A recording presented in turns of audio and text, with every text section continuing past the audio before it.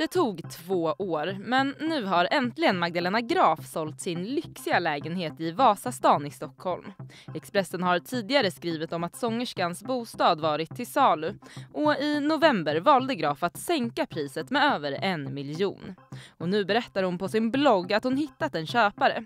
Lägenheten är 173 kvadratmeter stor och hade ett utgångspris på 13,7 miljoner.